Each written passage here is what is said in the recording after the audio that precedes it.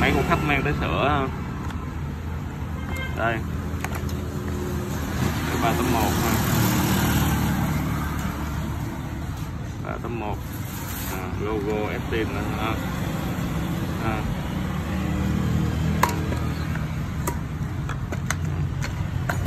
logo của người bán nè hả?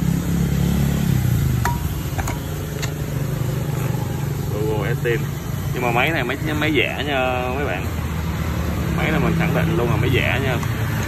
À, chỉ có cái lam xịn thôi nha. Lam này lam xịn và lam cũ ha máy máy giả nha. Máy giả. Ờ. À.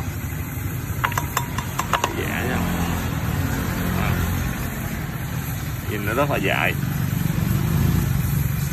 Đó. Các bạn mua máy bây giờ cẩn thận nha. Tại vì 381 này á, là nó hạn nó ngừng sản xuất rồi gian rồi ha. À. Bây giờ những người mà làm ăn không có tâm thì người ta sẽ à, bán mấy giả mấy máy giả à, bên cửa hàng mình mới nhận được à, khách đưa tới sửa ha.